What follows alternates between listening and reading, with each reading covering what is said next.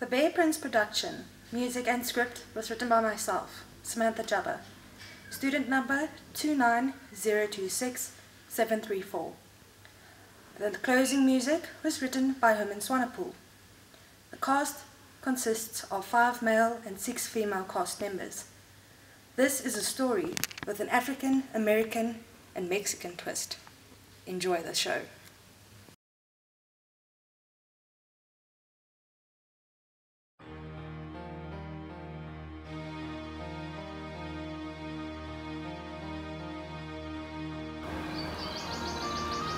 Once upon a time, there was a poor woodcutter who had three beautiful daughters.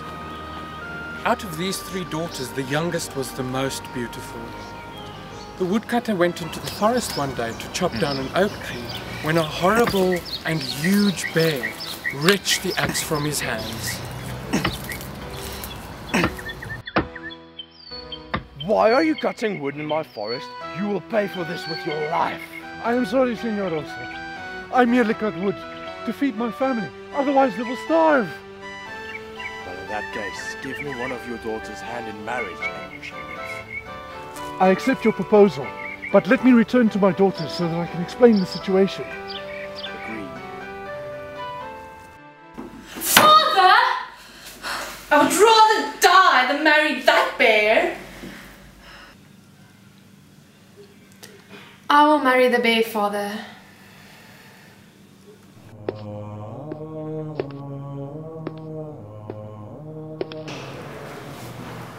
Signor Ozo, I will marry you.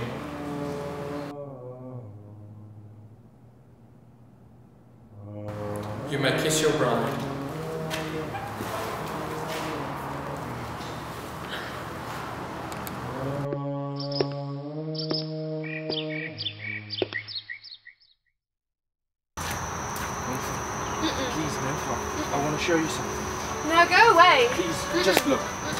Just look.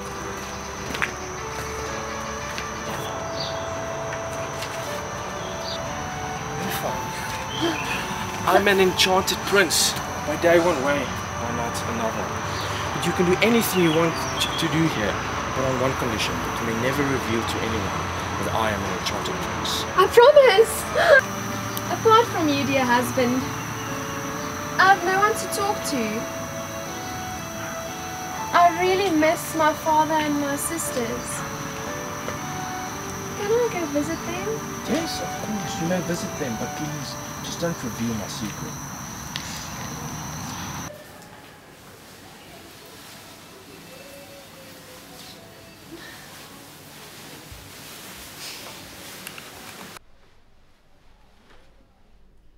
You're married to a bear. What a shame. I feel so sorry for you. My husband, this bear you're making fun of, is actually a prince who has been cursed. By day, he's a bear, but by night, he's the most loving, handsome prince that you'll ever know. Look, Ninfa, why don't you disenchant the prince? What you have to do is easy. Take him to the forest and get him drunk. Yes, yes. And then when he falls asleep, you tie him up and gag him so that he won't be able to say his magic words at daybreak. And then the prince will be a human forever.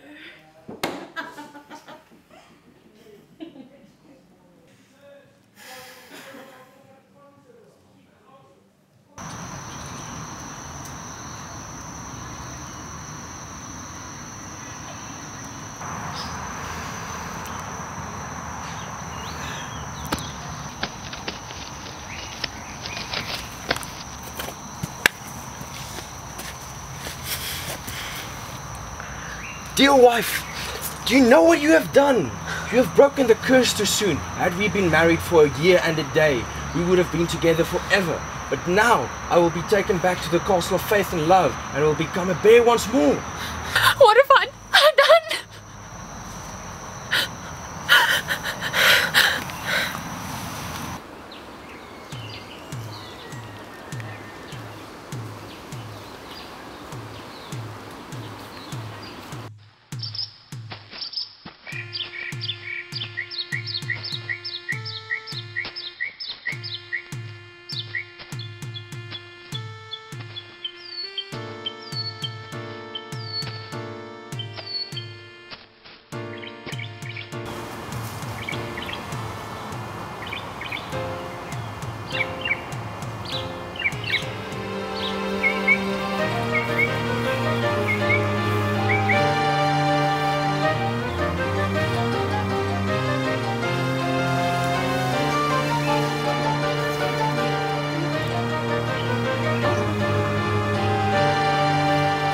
Infa! What are you doing in this forest here? I'm looking for the Castle of Faith and Love. I was hoping you could help me. I am sorry, but I do not know where this castle is. But follow this road to my father's house, and maybe he can help you. And take this nut. If you find yourself in trouble, break it. Thank you.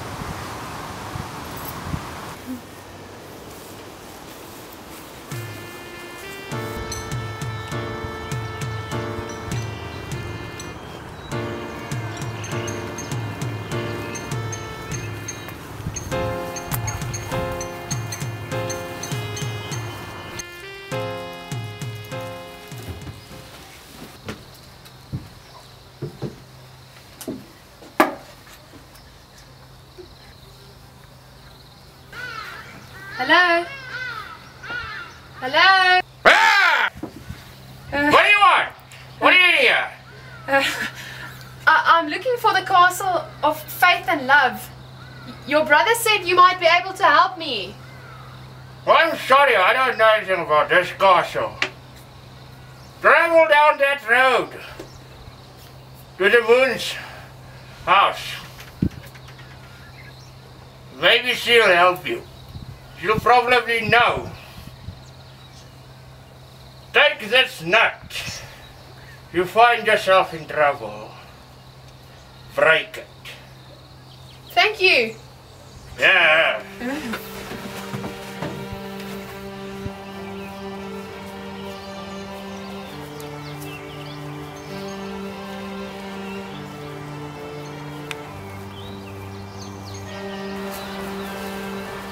How can I help you, my child?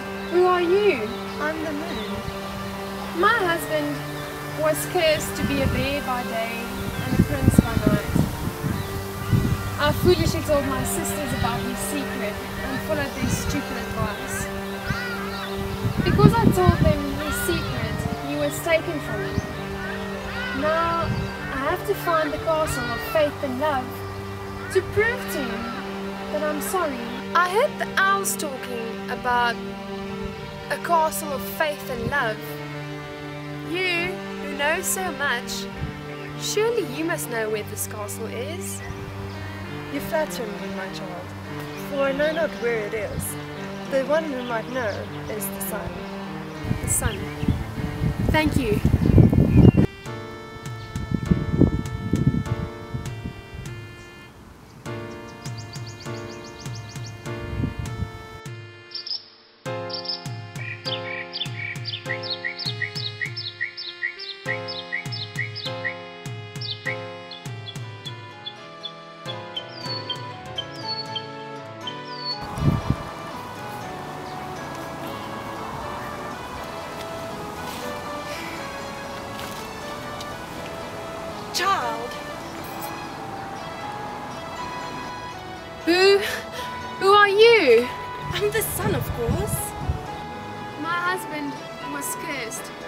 To be a bear by day and a prince by night. I foolishly told my sisters about his secret, and I followed their stupid advice. Because I told them he was taken from me, now I have to find the castle of faith and love to prove to him that I'm truly sorry and to tell him I love him. I know where the castle is. I would show you, but I'm not allowed to leave once I'm resting. But you can go to my friend, Al Air. He can show you the way. Go to him. Tell him I sent you. Thank you.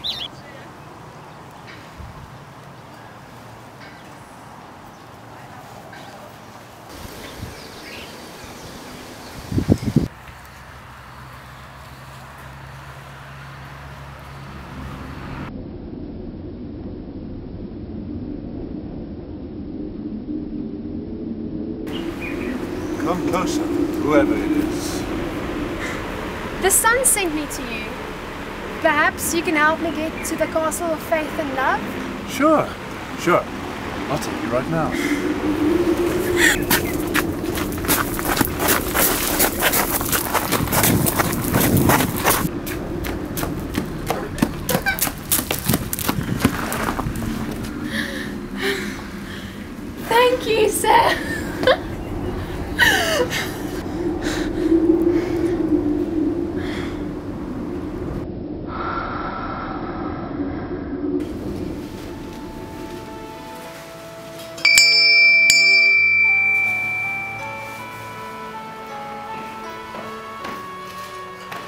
I help you with, madam? I would like to see the prince. You cannot see the prince. He's with his wife to be. The big fiesta for the wedding, and one does not disturb the witch. Well, if that's the case, senor, please allow me to come in and see the ball. I've traveled very, very far. Fine, you can come in, but don't let the witch see you, because she will not be pleased to learn that there is an uninvited guest.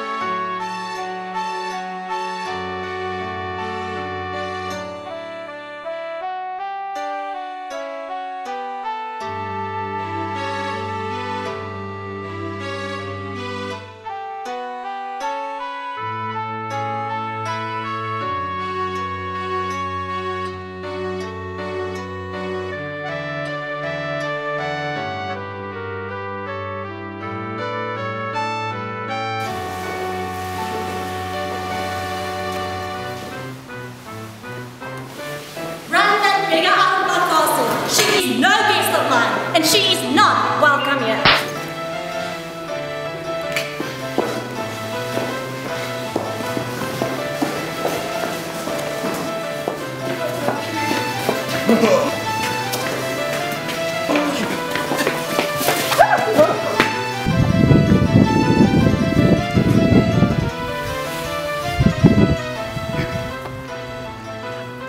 Ninfa remembered the magic nuts the wizards had given her for emergencies. Ninfa broke the first nut and turned herself into a mouse, whereto the witch responded by turning herself into a cat. In Ugatu! Ninfa then broke the second nut and turned herself into a dog. The witch thought she would be clever and turned herself into a poisoned dog bone because no dog can resist a good bone. Not knowing that Ninfa was no ordinary girl, Ninfa!